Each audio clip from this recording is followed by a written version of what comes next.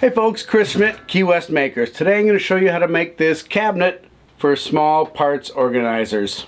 I made mine after seeing a video of Adam Savage's shop where he uses a cabinet similar to this for, I believe he also uses Sortimo boxes. Sortimo, Sortimo, Sortimo. I actually have no idea how to say it. I'm going with Sortimo. But it doesn't really matter what brand you use. It's really a cool project for anybody who has small parts to organize as part of your hobby or your job, whether you're sewing, crafter, woodworker, electrician, you get the picture. Next I've got to cut a groove in the back here to accept the back panel. And I also have to groove out the sides to accept the top and bottom to sit in. Do that with the old dado blade.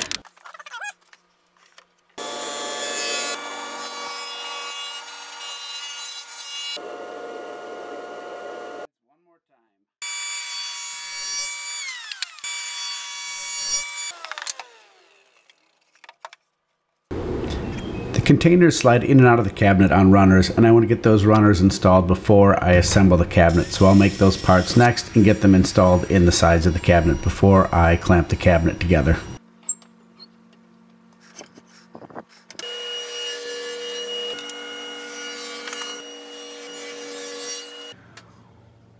Each of these brackets will get attached to the side with four screws, no glue. Um, in case I want to adjust them later for different containers or even if one breaks off. And I would normally do this with my handheld drill, but since this is a really thin material, I don't want to plunge this too deep. So I'm going to do it on my drill press where I can set a stop, a limit on how deep I go.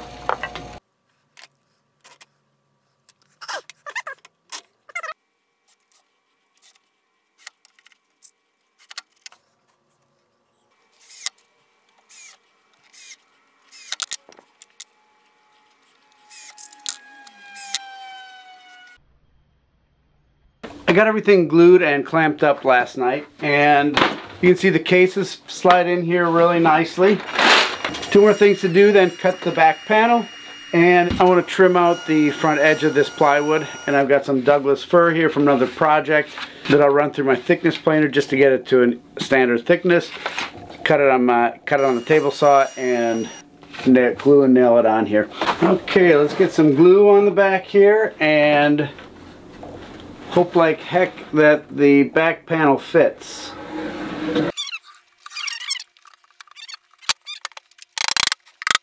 What do you think I'm some sort of a lunatic? I dry fitted off camera before I glued it.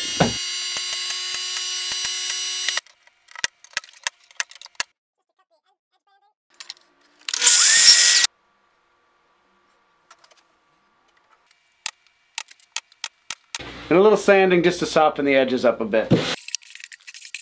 As I told you in the beginning, this cabinet has a secret, and that's a pull-out drawer. When I watched the, the video of Adam Savage's cabinet, the one thing that I was struck by is he had to pull out the containers and take them over to another area to open them up and pull out the contents, then take the container back and put it in its shelf. So I wanted a pull-out drawer, or a pull-out shelf, if you will, that I could set the containers on while I'm looking through them. So at the very bottom of this cabinet, there is just such a pull-out drawer. You can see it's a little bit wobbly and it could also pull out. So I've cut a few little pieces here that will get attached to the back of the drawer and the underside of this runner. And that will A, keep this from rocking, and B, keep it from pulling out too far. So let's get those glued in place.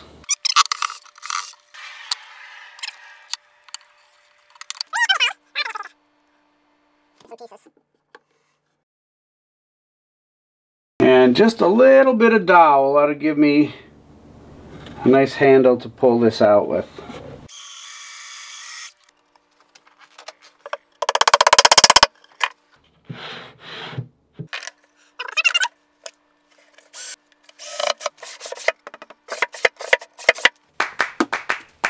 Well folks, here it is completed and in use in my shop. There's a few points I want to go over about the build, but first I just want to say thanks to everybody who watches the videos and is subscribed to the channel. It really helps us a lot we do appreciate it. I put my pull-out shelf on the bottom because of how I'm using this cabinet. It is up in the air as opposed to being a lower cabinet. If I was going to make this a lower cabinet, I would have put this pull-out shelf at the top. The pieces I use for the runner are an inch vertically and three quarters of an inch horizontally. And I left each of the sides a quarter inch thick. The gap between the top of each cabinet and the runner is one quarter inch. And the gap that I left on the sides, the total gap, is also a quarter of an inch. So those guidelines should work no matter what kind of cases you use. And that folks brings us to the end of this video build. Thanks again everyone for watching. Chris Schmit signing out from Key West.